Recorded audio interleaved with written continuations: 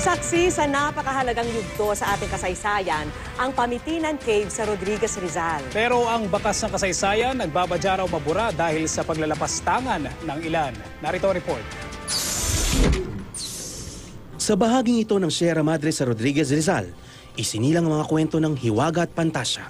Pero bukod sa alamat ng dakilang mandirigma na si Bernardo Carpio, nagsisilbi rin itong entablado ng isang makasaysayang sandali na maipagmamalaki ng ating lahi. Sa Pamitinan Cave sa Barangay San Rafael, unang inihayag ng Supremong si Andres Bonifacio at ng mga katipunero ang kalayaan ng Pilipinas mula sa mga Kastila. For the first time na na-record sa kasaysayan natin, nagkaroon ng ebidensya ng pagsigaw ng kalayaan. Mas nauna pa sa deklarasyon ng kalayaan sa kawit. Bilang pagkilala sa kahalagahan ng lugar, idineklara bilang National Historical Landmark ang Pamitinan Cave noong Hunyo 1996. Noong Oktubre ng taong iyon, itinuring naman na protected landscape ang Pamitinan sa bisa ng Presidential Proclamation 901. Pero ngayon, nagbabadyang mabura ang mga bakas ng kasaysayan sa kuweba. Ang mga katagang Viva la Independencia de Filipinas na isinulti Bonifacio sa pader ng kuweba, nilapastangan na ng bandalismo. Sa mga dingding, mas marami yung lumang nakasulat.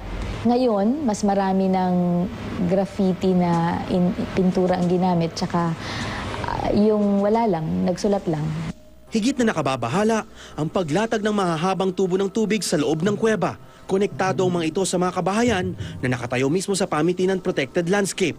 Pagka nag-aayos po sila ng tubig, nagpipumilit sila pumasok dyan pag ah, naputol yung kanilang ah, supply ng tubig.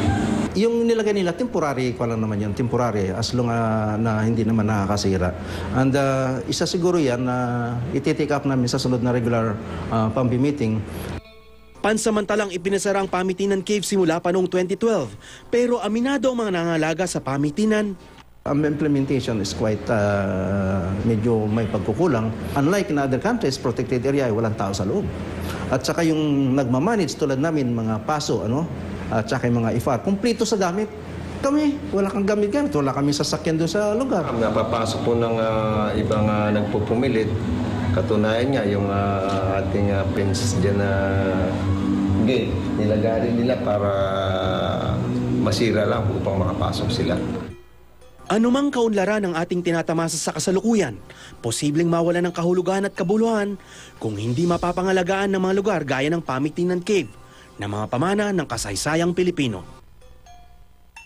Deo Bugawisan, GMA News.